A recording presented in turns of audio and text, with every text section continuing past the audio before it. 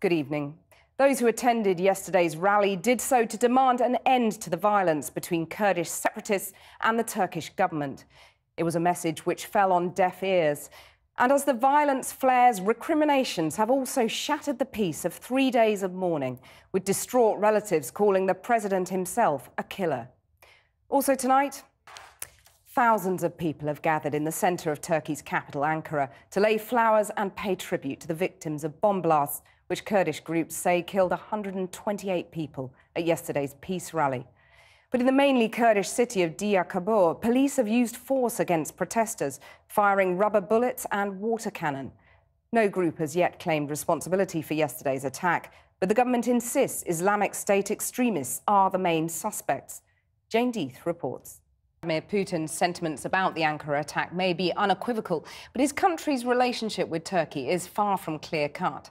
Russian fighter jets have repeatedly been found in Turkish airspace, and there's widespread suspicion that Moscow's military goal in Syria is to keep President Assad in power.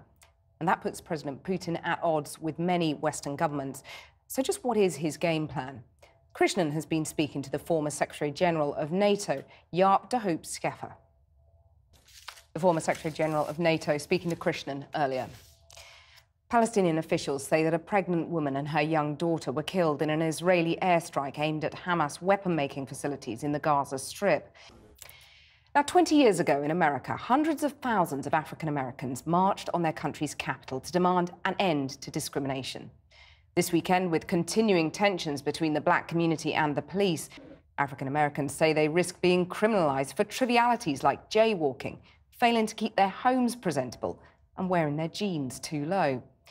Our Washington correspondent Kylie Morris reports from the St. Louis suburb of Pagedale. The sister of the Ebola nurse, Pauline Cafferkey, says doctors missed a big opportunity to spot the return of the infection before she fell seriously ill this week. Britain's three living former prime ministers, Sir John Major, Tony Blair and Gordon Brown, are all backing the campaign to keep the country in the European Union. And when they were built in the 1960s, they were the tallest housing blocks in Europe. But today, Glasgow's Red Road flats were demolished. Well, almost. Let's take a look at the sport now. And Ireland met France in the Rugby World Cup this afternoon, needing to win to avoid confronting champions New Zealand in the quarter-finals. An Irish victory would set up a match against the slightly less fearsome Argentinians in the last eight.